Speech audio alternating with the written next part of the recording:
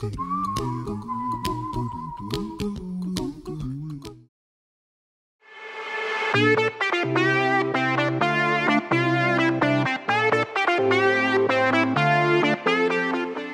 состоит из двух плесов – большого и малого, соединенных узкой протокой.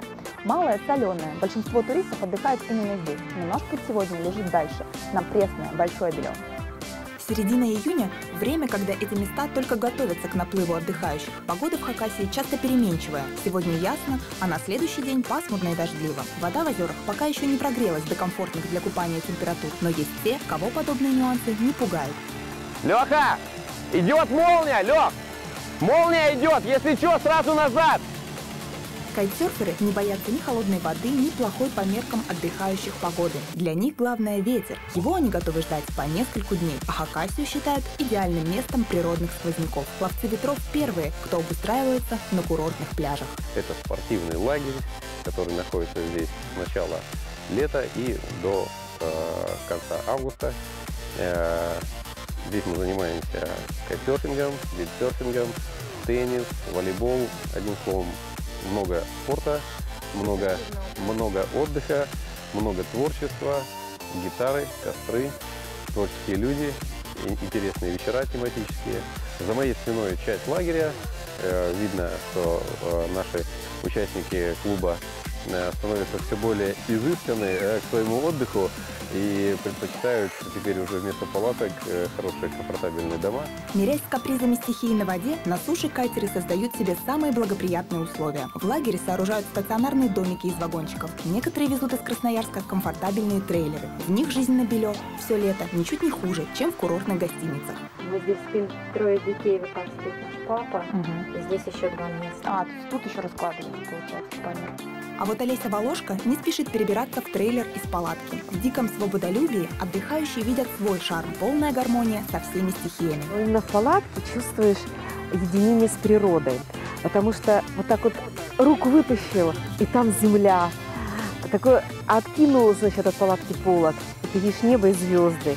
И очень классно, мне очень нравится, когда в палатке течет дождь. Он прямо так стучит, стучит, стучит, стучит. Опытные туристы-дикари собирают и разбирают палатки за минуты. Брезентовые домики вырастают на глазах. Вот эту палатку мы ставили там, не знаю, две минуты, потому что вот три дуги и палатка стоит. Вот этот коврик, он стелется просто рулоны на всю палатку. И спальник, и все. Вот мы взяли газовые баллончики, э, вот эта плиточка ра- раскладывается, и на ней вот супчик, супчик завтра утром приходите на супчик. И, конечно, у тех, кто живет палаточной жизнью не первый год, много своих секретов и ноу-хау. Правда, не, не так всего много, но там все холодное зато. Железный короб предохраняет продукты не только от жарких температур, но и от сусликов. Как оказалось, эти мелкие зверьки еще те вредители. Люди их не жалуют. Чего не скажешь о пушистых соседях, которые особенно рады началу сезона. Мы сейчас приехали, нас полдня не было. Мы зашли в палатку, три суслика выбежало из нашей палатки. И даже несмотря на вороватое соседство, Евгений и Наталья палаточную жизнь ни на что не променяют. Да это же романтика. Это романтика, это посмотрите, у нас тут еще сейчас первая линия, до этого стояла еще одна палатка, а теперь вот у нас девочка съехала, и мы теперь просто сидим на закат, смотрим. Красотища. National да, канал National Geographic. Да, красотища. Кстати, вопреки мифу, что кайтинг – спорт загорелых длинноволосых парней, в этой паре с воздушным змеем дружит только Наташа. У Евгения свои слабости. Рыбачу, людей рыбой. Рыбой, да. жарю.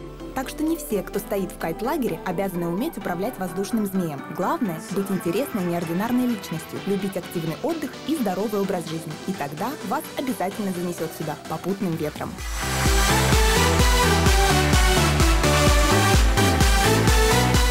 В следующей серии проекта «Родные просторы» мы расскажем, кто приехал на открытие кайт-сезона.